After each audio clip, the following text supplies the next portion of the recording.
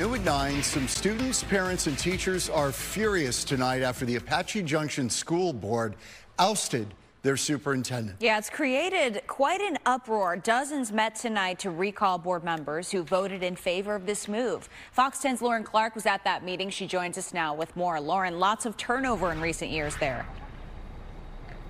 And the school district is now looking to hire its fourth superintendent in the past six years. It's a move that sparked outrage right here in this community.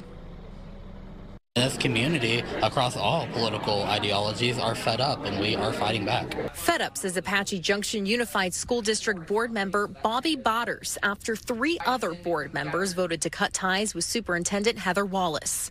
We are in an uproar because of the undue firing of our superintendent. Wallace was a former teacher that, according to the district website, worked there for nearly 25 years. It was her dream to be the superintendent here, and she was going to be a lifer. Nobody bled AJ than she did. Both teachers, parents, and students upset by the decision, pointing to an improvement of test scores and high morale during her leadership. We kind of just started getting to where we were doing well, and then they just pulled out the rug. It's unclear why this decision was made. In a statement posted on their Facebook page, board's president Dina Kimball wrote Miss Wallace and the school district recently determined their visions for the district are different and that a transition plan would be shared soon. The majority of the board is saying and putting out statements that it was a mutual decision.